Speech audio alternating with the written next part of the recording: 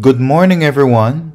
Welcome to our morning inspiration, May 1st, 2024. I pray that God will be with you today and may He be with your families. I pray that His favor will be on your life. And as you go through today, I pray that you will call upon Him, that you will seek Him while He may be found. Our reading today comes to us from Matthew chapter 21, reading from verse 18 to 22.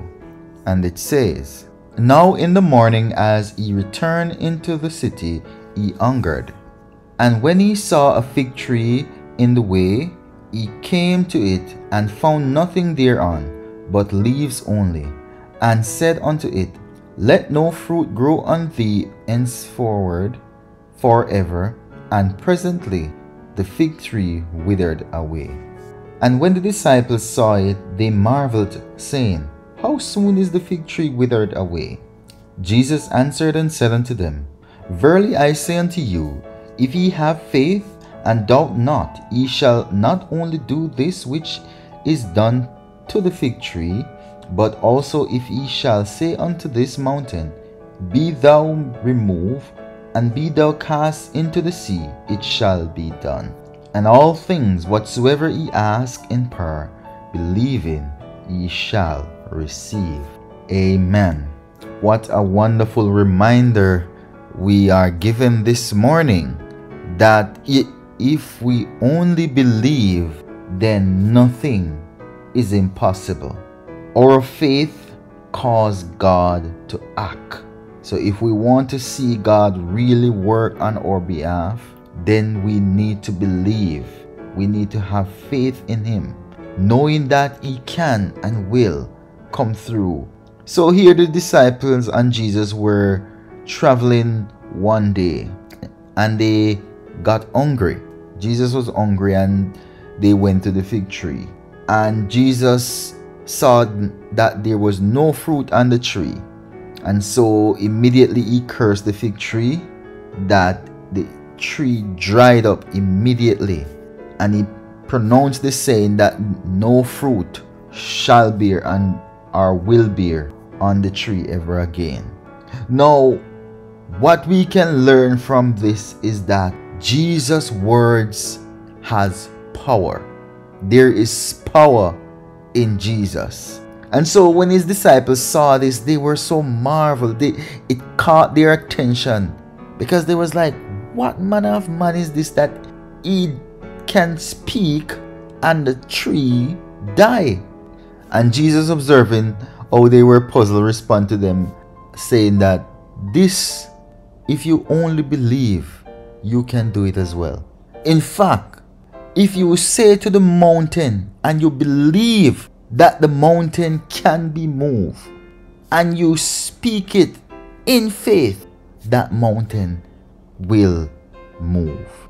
No, it may not be a literal mountain, but what is the mountain that you are facing right now? What is it in your life that has become so high that it seems impossible for you to get over, impossible for you to climb? Here, God is saying that you only need to believe and it shall be done. So, the question I will ask you this morning is Do you believe? Do you believe that God can change your current situation? Do you believe that God can give you the victory over your current situation? What is your faith status now? Are you hot or are you cold? That is the question you need to ask yourself. Because if it is that you don't believe that God can get you through your current situation, then you will be forever stuck with that situation. And that would be a very sad thing. So now I will ask you that you claim that victory. Pray to God. Ask Him to take this wheel, to take this situation, to give you the strength to climb your mountains, to cast your mountain to fly into the sea. Because we serve a God that works with impossibilities. You heard me say that all the time. God is not stagnant by our situation. He's not puzzled. And so there is nothing that is impossible for him to do. And that is why he ends the saying by saying, All things whatsoever you and I ask for in prayer. So if you want something, you need to get down on your knees and talk to God about it. Tell him what you want. The song says, Jesus on the telephone. Tell him what you want. Tell him what you want right now. Some want silver, some want gold. But what do you want? I want Jesus in my soul.